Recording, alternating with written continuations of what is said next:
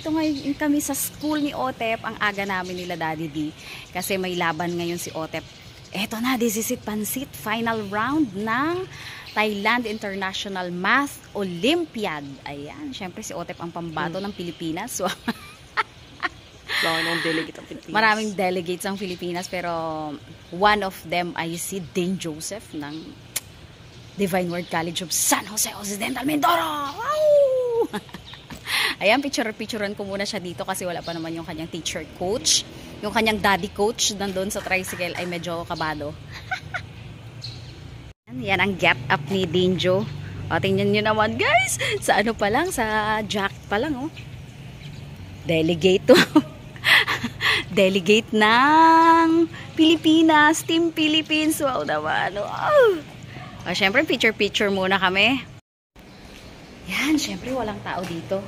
Saturday kasi ngayon, guys. Sila lang ang may laban. O, feel na feel, feel na feel. ang Delegate na. ng Team Pilipinas. Uh. Sabi namin sa kanya, kahit naman anong mm, mangyari sa kanya, anong maging resulta, ay sobrang proud pa rin kami sa kanya, di ba? Super proud parents, of course. Nakaka-proud naman talaga yung mga ganun mga achievements ng ating mga Junakis, di ba?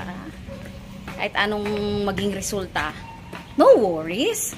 Para no pressures at all. No pressure talaga. Hindi mahirap kasi yung nape-pressure yung habang nag-e-exam eh, oh, 'di ba?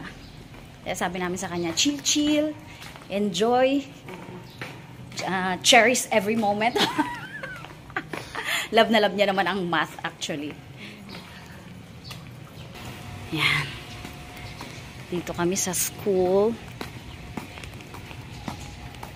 Sa faculty. Ihahatid ko lang naman siya. Tapos aalis kami ni Daddy D.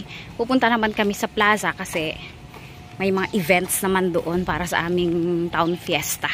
Mga banderitas ng aming kapistahan. Wow! Tapos every night na rin ngayon hanggang sa May 1, meron ng mga ano, mga booth ang night market. Wala, wala tayong pwesto. Bawal yata, bawal pumasok ang tricycle. Iparada na lang natin sa Chinooks. Makikiparada na naman kami sa Chinooks. Wow, may mga bihis ang mga booth. Kasi may contest din mamaya ang booth. O sige, sa simbahan na lang, dad. Sa simbahan na lang.